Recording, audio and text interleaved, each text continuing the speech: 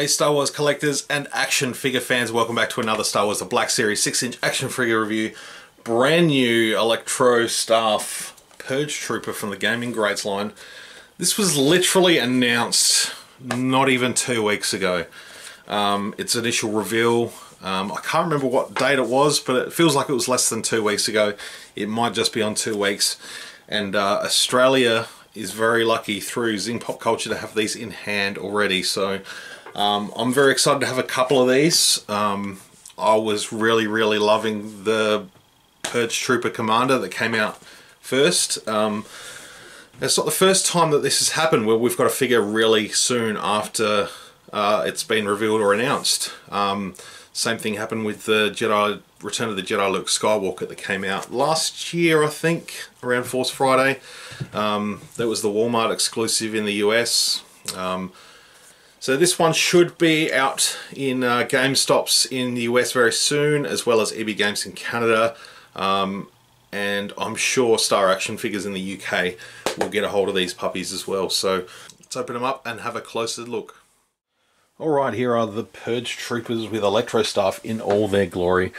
Got both of them out, obviously. Um, and the thing I noticed straight out of the pack is these pink elements that sort of wrap around the uh, ends of the staff. They're actually quite loose. Um, they're very much a Marvel Legends sort of element that you might get with some mystical figures that have those mystical powers and it wraps around their arms a little bit. Um, and in, in such, it's probably the, the staff itself is a little bit thin um, for these particular pieces. So I will quickly run through what I actually have done uh, before we discuss the figure at length um, is that there are some actually some connected bits here. Um, and what I did is, it's okay, he can go to the side. I only need one for the video.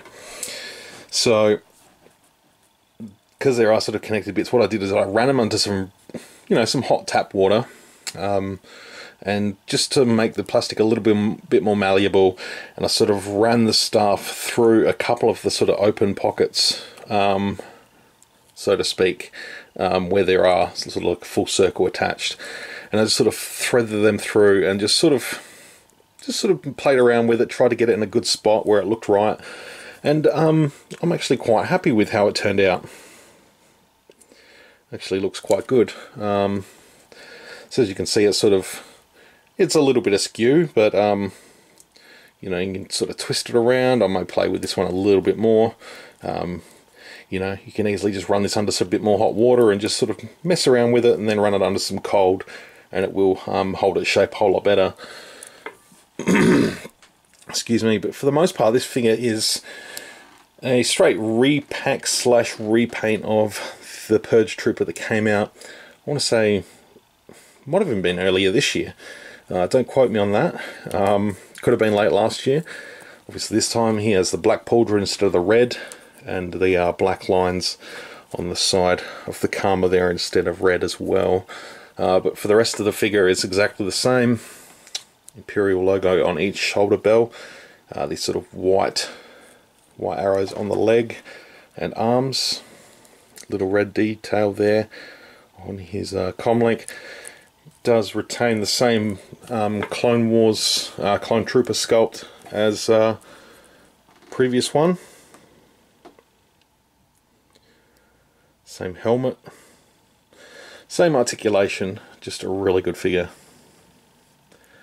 So yeah, very quick review here guys, so um, my battery's about to die.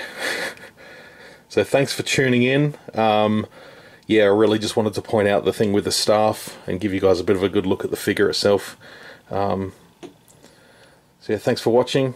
If you like the video, hit the like button. If you want to subscribe, hit the subscribe button. And stay tuned for more videos. Until next time, may the force be with you.